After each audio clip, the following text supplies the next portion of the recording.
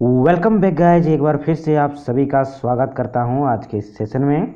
और मैं एक बार फिर हाजिर हूँ गाइज़ आज जनरल अवेयरनेस के क्वेश्चन का प्रैक्टिस सेट लेकर गाइज़ और जैसा कि आप सभी जानते हैं, इस क्लास के माध्यम से आप लोग को आरपीएफ कांस्टेबल और जो एसआई के बच्चे जो हैं, जो तैयारी कर रहे हैं, उनके लिए बहुत इंपॉर्टेंट होगा गाइज़ क्योंकि जनरल अवेयरनेस के जितने भी इंपॉर्टेंट क्वेश्चन हैं सभी के टॉप लेवल का मैं इस सेशन के माध्यम से आप लोगों को प्रैक्टिस करवाता हूँ।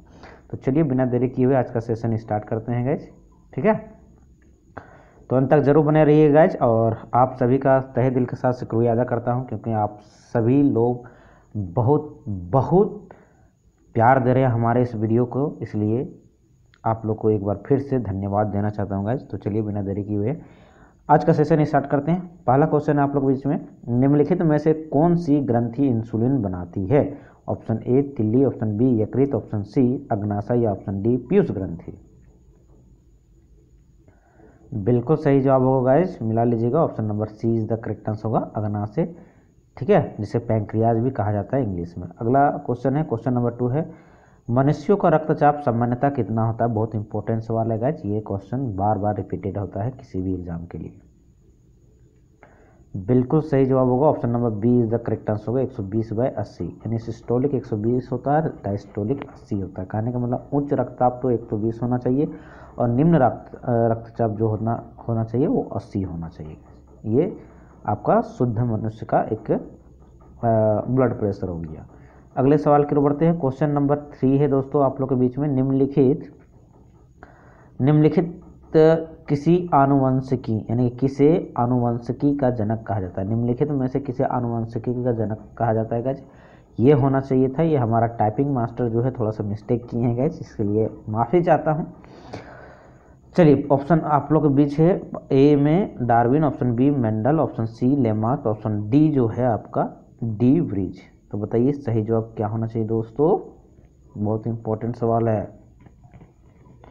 बिल्कुल सही जवाब है option number B is the correct answer होगा ठीक है? मेंडल अगले सवाल क्वेश्चन नंबर फोर्थ है दोस्तों। अगेती अगे, अगेती झुलसा निम्नलिखित में से किसका एक सामान्य रोग है? ऑप्शन ए आलू ऑप्शन बी अदरक ऑप्शन सी बंद गोभी ऑप्शन डी फूल गोभी बिल्कुल करेक्ट आंसर हो जाएगा option number A is the correct answer होगा, आलू का। अगले सवाल के बढ़ते हैं। क्वेश्चन नंबर फिफ्थ है दोस्तों, आप लोग के बीच में। जब किसी वस्तु को दो समांतर समतल दर्पणों के बीच रखा जाता है तो बने हुए प्रतिबिंबों को, प्रतिबिंबों की संख्या कितनी होगी? ऑप्शन ए एक। ऑप्शन ऑप्शन बी है दो। ऑप्शन सी है चार। ऑप्शन डी है अनंत। जी, बिल्कुल करेक्ट आंसर हो जाएगा। मिला लीजिए option number D is the correct answer होगा, अनंत। अगले सवाल कर बढ़ते हैं क्वेश्चन नंबर सिक्स से। घर्षण निम्नलिखित में से किससे कम किया जा सकता है? कथन एक, सतहों को चमकाकर। कथन दो है स्निग्ध कार्यों के प्रयोग से। कथन तीन है, स्पर्श के क्षेत्रफल को कम करके। ऑप्शन ए बोलता है, केवल एक ऑप्शन बी बोलता है केवल दो, ऑप्शन सी बोलता है केवल एक तथा दो और टी बोलता है सभी विकल्प सही हैं। बिल्कुल सही जवाब होगा, option number C is the correct answer. होगा दोस्तों, आपका केवल एक तथा दो ही आपका सही है। जो आपको घर्षण को कम करने में मदद करता है, कौन? सतहों को चमकाकर या स्निग्ध कार्यों के प्रयोग से। अगले सवाल के बढ़ते हैं। क्वेश्चन नंबर सेवन है, किसी चलती हुई वस्तु की गति को आधा करने पर उसकी खाली जगह है। क्या होगा गाइज़ ऑप्शन ए गतिज ऊर्जा प्रारंभिक का एक बट्टा चार हो जाती है। ऑप्शन बी गतिज ऊर्जा प्रारंभिक का चार गुना हो जाती है। ऑप्शन सी गतिज ऊर्जा में कोई परिवर्तन नहीं होता है। ऑप्शन डी है तौरन दो गुना हो जाता है। तो बताइए सही जवाब क्या होना चाहिए? बहुत इंपॉर्टेंट सवाल है रेलवे का। जी बिल्कुल सही जवाब होगा। Option number A is the correct answer होगा, ठीक है? गतिज ऊर्जा प्रारंभिक का एक बट्टा चार हो जाती है। अगर कोई वस्तु गति, किसी वस्तु को क्या करते हैं? गति को आधा कर देते हैं। तो चलिए अगले सवाल कर बढ़ते हैं। क्वेश्चन नंबर एट है पारा थर्मामीटर के कार्य करने का सिद्धांत क्या है? ऑप्शन ए, गर्म करने पर पदार्थ के घनत्व में बदलाव। ऑप्शन बी, गर्म करने पर पदार्थ का विस्तार। ऑप्शन सी है पदार्थ का उष्मा संबंधित प्रतिरोध और पर पदार्थ के दरमियान में बदलाव। बिल्कुल सही जवाब होगा। Option number B is the correct answer. को दोस्तों, आपका गर्म करने पर पदार्थ का विस्तार। अगले सवाल के बढ़ते हैं। क्वेश्चन नंबर नाइन है। आमतौर पर उपयोग की जाने वाली फ्लॉपी डिस्क का संचयन क्षमता क्या होती है? Option A two M B, option B चार एम बी, ऑप्शन सी है। One point four four M B और डी है two point four four M B बिल्कुल सही जवाब होगा option number C is the correct answer दोस्तों. 1.44 point four four M B चलिए अगले सवाल की ओर बढ़ते हैं क्वेश्चन नंबर टेन है. निम्नलिखित में से कौन प्रचालन यंत्र का व्यवस्थित किए जाते हैं?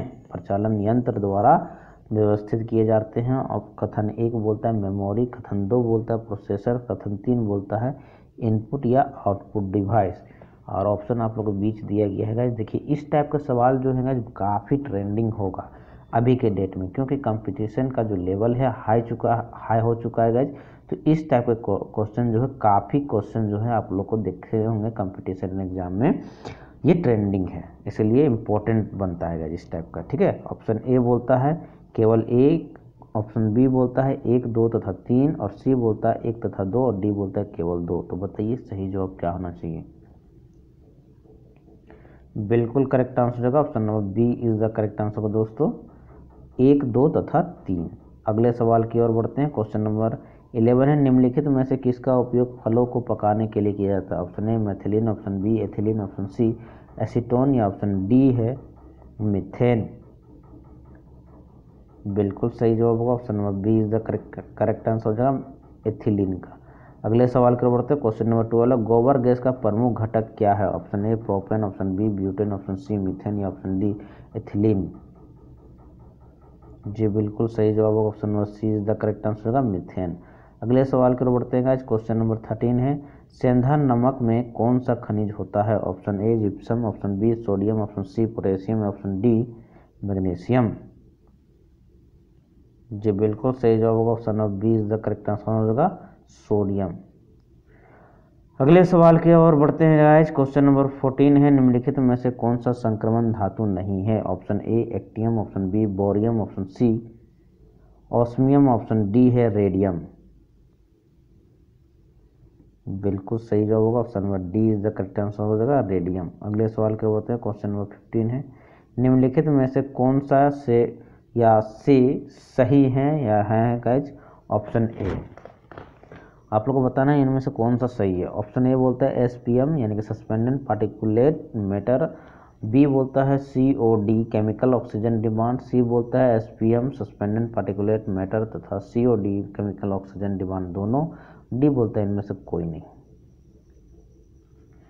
बिल्कुल सही जवाब होगा। Option number C is the correct answer होगा। आपका एस पी एम और सी डी ओ दोनों ही, दोनों का फुल फॉर्म जो है सही है इसीलिए option C is the correct answer होगा। अगले सवाल की ओर बढ़ते हैं। क्वेश्चन नंबर सिक्सटीन है बहुत इंपॉर्टेंट सवाल है। प्रोजेक्ट टाइगर को किस वर्ष में प्रारंभ किया गया था? ऑप्शन ए थी उन्नीस सौ तिहत्तर ऑप्शन बी उन्नीस ऑप्शन सी उन्नीस ऑप्शन डी उन्नीस बासठ। बिल्कुल सही जवाब होगा। Option number A is the correct answer होगा उन्नीस सौ तिहत्तर में। अगले सवाल की ओर बढ़ते हैं। क्वेश्चन नंबर सेवेंटीन है। निम्नलिखित में से कौन जैव निम्नीय, यानी बायोडिग्रेडेबल नहीं है। कथन एक बोलता है शीशा कथन दो बोलता है रुई, कथन तीन बोलता है कागज़। ऑप्शन ए केवल एक, ऑप्शन बी एक तथा दो, सी बोलता है दो तथा तीन और डी बोलता है एक, दो तथा तीन। बिल्कुल करेक्ट आंसर होगा दोस्तों, option number A is the correct answer होगा केवल एक कथन सही है, ठीक है? जे निम्निय जो बायोडिग्रेडेबल नहीं है, कथन एक यानी शीशा नहीं है। अगले सवाल की बढ़ते हैं। क्वेश्चन नंबर एटीन है, कांचीपुरम स्थित कैलाशनाथ मंदिर इस वंश के शासनकाल के दौरान बनाया गया था। किस शासनकाल के दौरान बनाया गया था? कांची का जो कैलाश मंदिर है गाइज़ वो बताना है। Option A Chola option B Pandya option C Cheras या ऑप्शन डी पल्लव। बिल्कुल सही जवाब होगा। Option number D is the correct answer दोस्तों, पल्लव।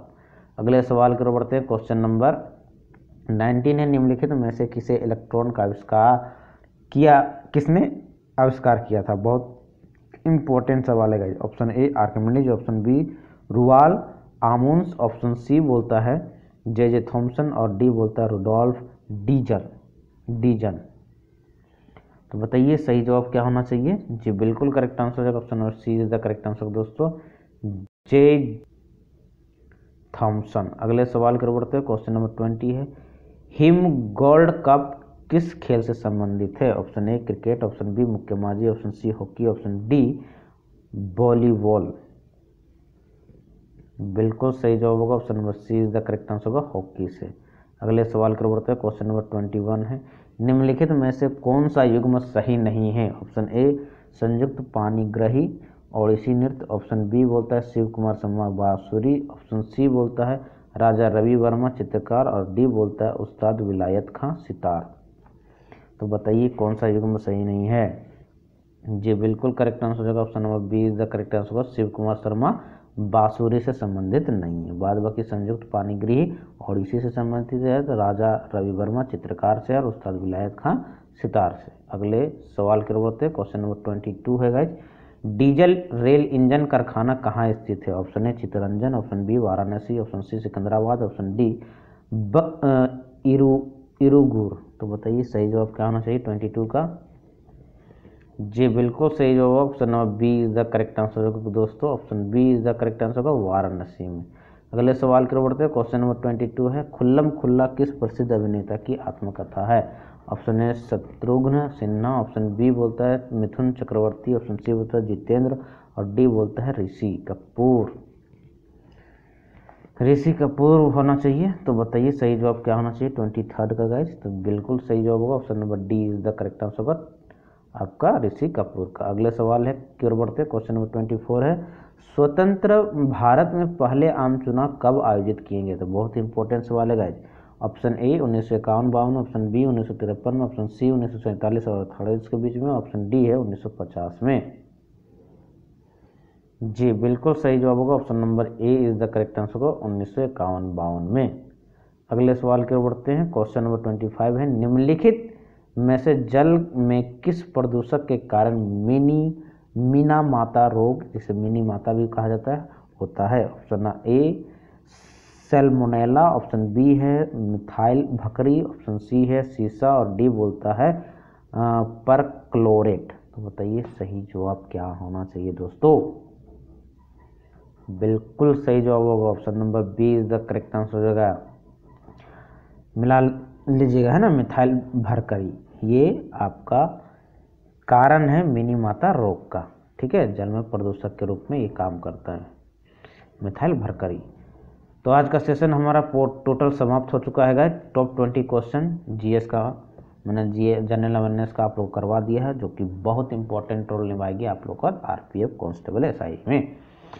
अंत तक बने रहने के लिए आप सभी का तहे दिल के साथ शुक्रिया अदा करता हूँ गाइज़ और आप लोगों ने हमारे पिछले वीडियो को बहुत प्यार दिया है, इसके लिए मैं एक बार फिर से आप लोग को धन्यवाद देना चाहता हूँ गैस इसी तरह प्यार आप लोग बनाइए रखिएगा लाइक शेयर ज़रूर कर दीजिएगा। ठीक है? फिर मिलते हैं नेक्स्ट सेशन में। तब तक के लिए इजाज़त दीजिए। जय हिंद, जय भारत।